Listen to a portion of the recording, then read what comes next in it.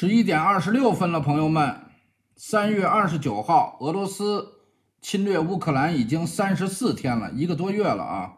俄军啊，这个除了在全世界面前用句歇后语叫“光着屁股拉磨”，光着屁股拉磨，转着圈儿的丢人啊，转圈儿丢人之外，没有给大家留下任何美好的东西啊！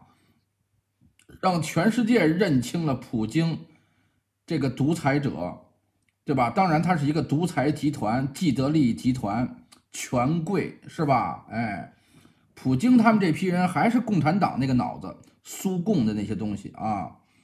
给大家看看，现在啊，损失惨重，是吧？这个不是挂着十字架，这是牧师吗？啊，Z Z 就是来自远东军区的东部军区的啊。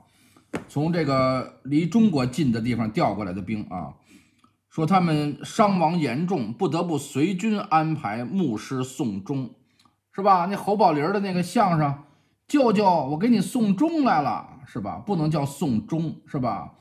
给给给人家修一个钟表哈，送终。不过这个我不认为这个这个这个牧师是因为伤亡惨重，他随军就有，是吧？那个无神论国家。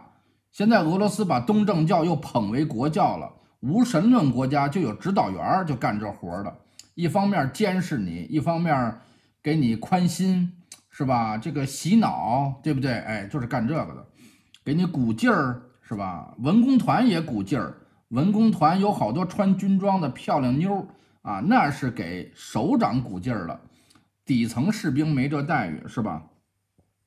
有人说耶稣不会接受的。说除了撒谎和伪造事实之外，你没有任何用处，这是不是挺讹的人的弄的这么一个东西？是不是？你看，这个人这个这个袖口上不是俄罗斯的国旗吗？好像哦，明白了，这个蓝黄呃戴这小帽代表是是乌克兰人是吗？然后还有纳粹的这个标万字哦，他们说乌克兰是新纳粹，俄国人是来粉碎。新纳粹的，这不是颠倒黑白吗？俄罗斯没有光头党吗？那比那个乌克兰不是严重多了，对吧？俄罗斯那光头党在街上看见有色人种、黑人、华人、越南人打，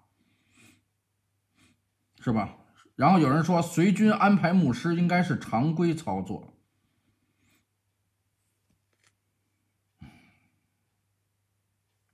乌克兰不是一个小国，它有六十万平方公里，被俄罗斯占了四万多，还有五十六万多，所以这么大的面积，相当于十六个台湾，对吧？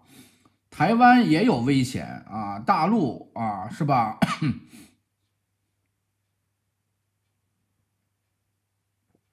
大陆可能打台湾，台湾的缺点是面积比较小，所以它那个战略回旋呀，战略纵深比较的小。